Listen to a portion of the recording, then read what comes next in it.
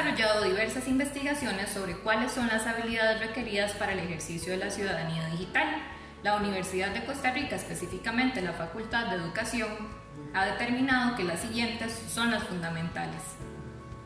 Acceso al mundo digital, comercio digital, comunicación digital, alfabetización digital, etiqueta digital, leyes digitales, derechos y deberes digitales, salud digital, seguridad digital, autopercepción e identidad digital, huella digital, pensamiento crítico, alfabetización mediática, Internet de las Cosas.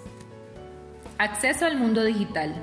Nos asegura el poder generar una relación entre persona usuaria, su aparato tecnológico e Internet. Cada persona presenta situaciones particulares que facilitan o dificultan esta relación, como pueden ser acceso limitado o restringido al Internet, condiciones de género, edad, ruralidad o marginalización, limitaciones sobre el uso correcto de aparatos, entre otros. Comercio digital. Enfoque en el que se reconoce el potencial, el valor y los riesgos de hacer negocios en Internet. Comunicación digital este es el proceso que nos permite construir un mensaje y transmitirlo a otras personas a través de aparatos tecnológicos. Este es quizá uno de los mayores aspectos de la vida que se han visto modificados, pues la comunicación antes de Internet se limitaba a quienes tenían el privilegio de construir y transmitir los mensajes. Desde que tenemos Internet y dispositivos, todas las personas podemos construir mensajes, podemos objetar y responder a los mensajes de otras personas también. Alfabetización digital. Es el proceso que busca que todas las personas puedan desarrollar las habilidades y capacidades necesarias para interactuar correctamente con los dispositivos electrónicos e Internet. Etiqueta digital. Se refiere a los protocolos de comportamiento apropiados para interactuar en los diferentes espacios digitales. Leyes digitales. Son las regulaciones nacionales e internacionales que rigen las actividades digitales que las personas desarrollan. Derechos y deberes digitales. Son las garantías de participar en un ambiente seguro y comprender cuáles son mis derechos y mis deberes como persona usuaria de los espacios virtuales. Salud digital. Se refiere a cómo las tecnologías digitales aplicadas específicamente a la salud pueden contribuir a una mayor igualdad, accesibilidad y agilidad que beneficia a las personas. Por ejemplo, en Costa Rica se impulsa desde hace algunos años el Expediente Único de Salud, EDUS. Seguridad digital. Son todas las medidas que como persona usuaria puedo tomar para protegerme en el entorno virtual. Autopercepción e identidad digital.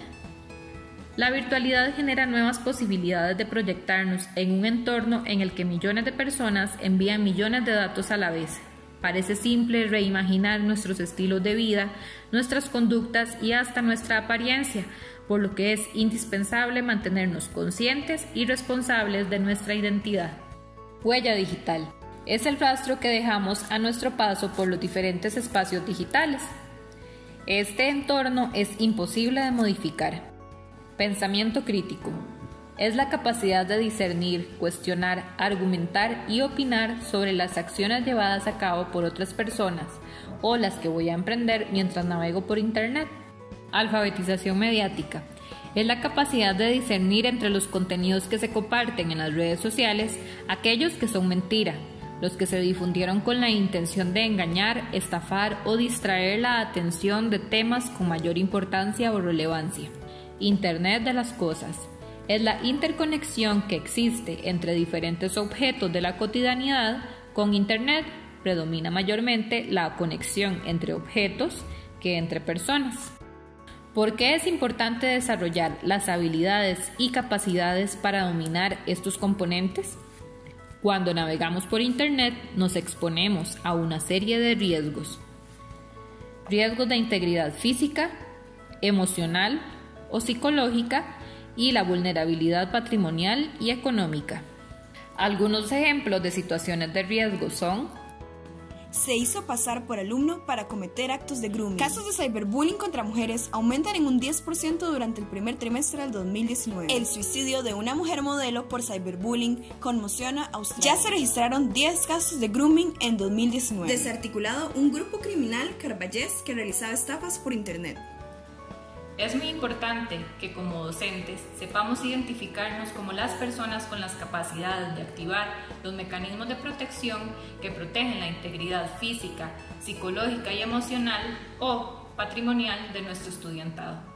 Específicamente en el campo de la educación hemos identificado los siguientes riesgos. Número uno, que estudiantado y profesorado asumen que no hay necesidad de respaldar los datos electrónicos, no crean copias, no crean otros registros en segundo lugar, no se mantienen actualizados los software, los antivirus o los cortafuegos que nos protegen nuestros dispositivos electrónicos. En tercer lugar, no se protege nuestra identidad cuando estamos trabajando con correos electrónicos, cuando estamos trabajando en cafés internet o en espacios comunes de laboratorio o cuando estamos en salas de mensajería instantánea. ¿Cómo prevenimos estas situaciones de riesgo? A mayor cantidad de habilidades y competencias digitales logremos desarrollar, mayor será nuestra inteligencia digital. Y mientras tengamos una inteligencia digital, se reducen las posibilidades de sufrir alguno de estos riesgos. En nuestro siguiente video hablaremos sobre las medidas que se recomienda implementar para ejercer una ciudadanía digital segura.